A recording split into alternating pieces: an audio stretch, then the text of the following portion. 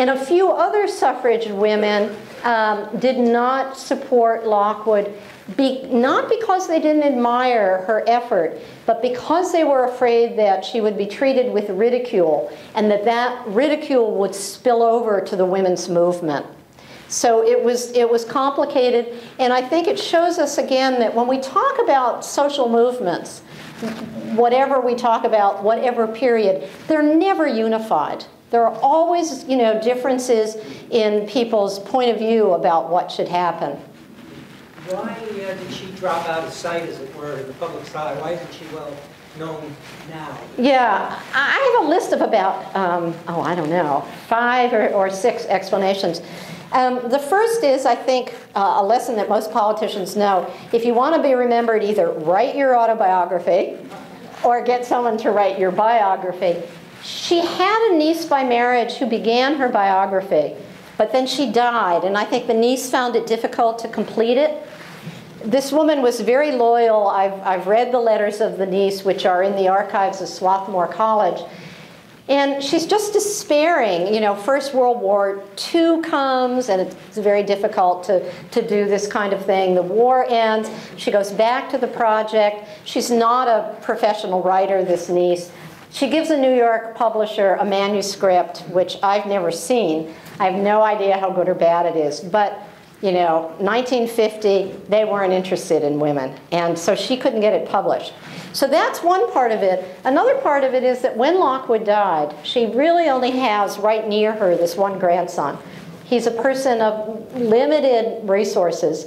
She has this house full of uh, a lifetime's you know reform activities. She she ran a small lending library of peace materials.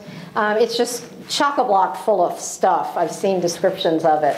Uh, you know, a clutterer's delight.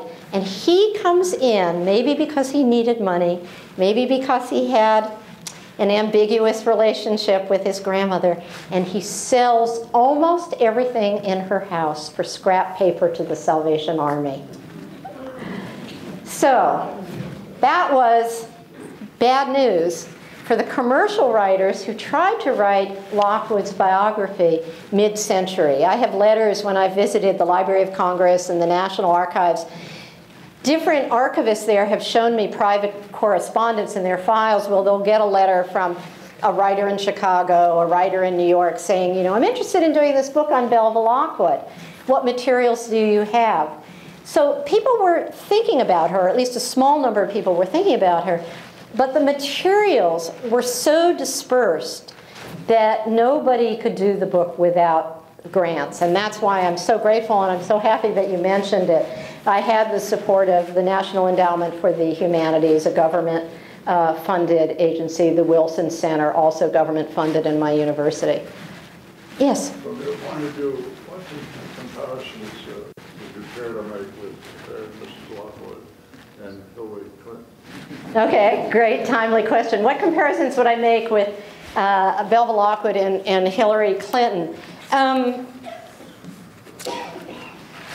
although Lockwood had a great deal of experience in reform politics, she certainly did not come to her 1884 campaign with the same kind of political experience that Hillary Clinton. I mean, Hillary Clinton, you know, was in the White House as a spouse for eight years. Uh, you know, we've learned that, that spouses um, just spend a lot of time listening and participating and learning. And of course, Hillary Clinton has been in the Senate. So I think there's a difference in, in the levels of experience that the two women had. Um, I think that they, they were similar in being smart women who were quick studies. Um, I was talking today at a high school and I was asking people to think about some of the reasons why after women got the vote, we didn't have more women going into politics after 1920. And there are a lot of reasons. You know, women didn't have money, the party bosses, forget it, didn't welcome them. We have a single membership district system here in the US, which disadvantages newcomers, women, eh, you know, everybody one young student said to me, well, you know, isn't part of the explanation also that historically we've thought of women as being governed by their emotions? And uh, that men, you know, are governed by their heads and not by emotions. And so we, perhaps people feel that women can't be political leaders because they would act on the basis of their emotions. Well, what's so interesting, and we were talking about this at dinner, is that of course Hillary Clinton is constantly being criticized for being cold and reserved, right? Not being effusive and warm and nurturing and so forth.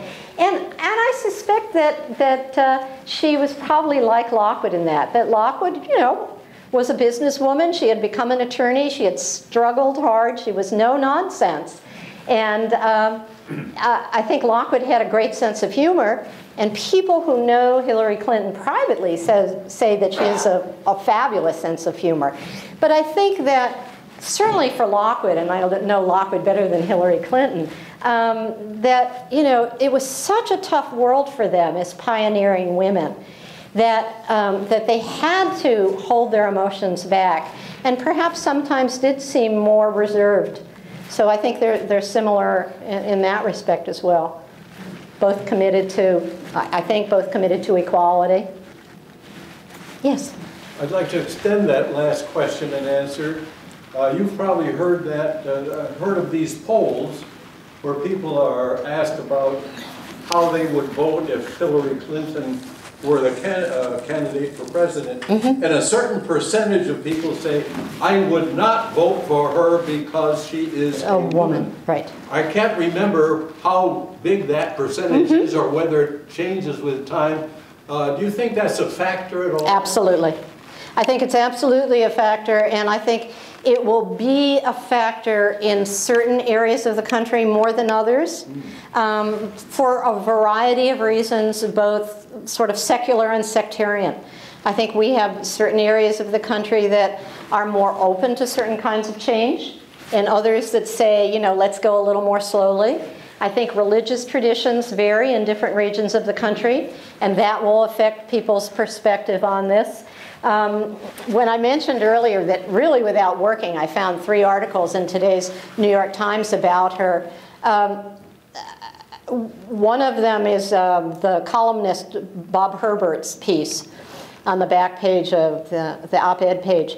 And he speaks very specifically about women being the critical um, lever here. If, if she gets the nomination, whether she can win that the number of men who say, I will not vote for a woman is fixed. Now, what that percentage is, we're going to have to go out and see. And of course, you know, being an old University of Michigan graduate and having done a few courses in survey research, you know, we've gotten pretty good at survey research. But, you know, events change things. And um, we don't know what's going to happen in the next year. So, you know, it's possible that plus or minus 3 to 5% of men or women. I mean, remember, there are also uh, a number of women in this country who say, you know, I don't think that either that women belong in politics or they say, well, women may belong in certain kinds of politics, but not anything that has to do with international politics. I'm sure many of you know that in your communities it was always much more common to see women, for example, running for school board. Okay? A couple of reasons. One is that it was local. Women didn't have to leave town to serve in that kind of capacity. But also, of course, school board is connected to family and children and the idea of you know, women caring about those issues. We're still getting used to the idea of women in national and international politics. We've had people like Maggie Thatcher help us with that, right? Um, and we've had women prime ministers elsewhere now. We're getting a little bit more used to this. Germany's headed by a woman, right? But it, it's taken us some time. So um, what a number of pollsters are saying is, is that women will be the key for her if she gets a nomination. But remember, she may not get the nomination, right? Uh, that, that too will be interesting to see. Yes?